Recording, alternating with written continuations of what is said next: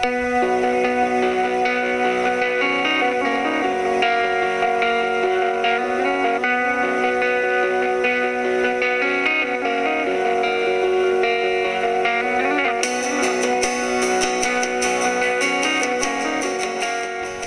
I grew up playing the piano. My mom made me play the piano.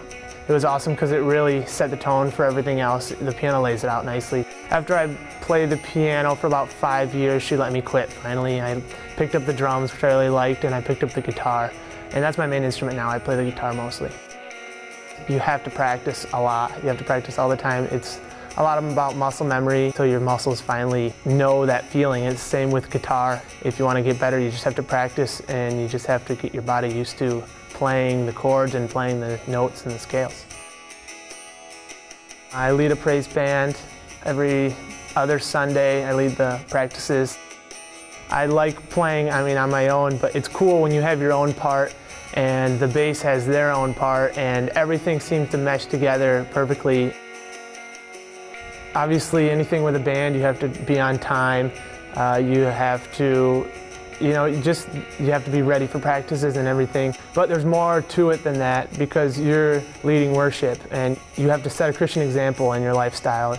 And you have to, even outside of church, you have to make sure that your heart is in the right place so that you can worship God in everything that you do. Worship, if I could steal Louie Giglio's definition, is our response to who God is and what He has done. I try to take that everywhere. Worship isn't just the music we play, it's when we give our offerings, it's when we listen to our pastors preach. I think there are a couple things that hinder worship. There's too much people fearing and not enough God fearing. I think people are afraid of what other people think of them if they raise their hands or close their eyes. And I think that can be a real hindrance to what God wants to do in your heart. A worship leader needs to be genuine. They have to be truly in the moment praising God. And I think people will see that and they'll reflect that and they'll then be able to worship. I think God loves genuine, heartfelt worship to see that you finally get it and it finally hit you.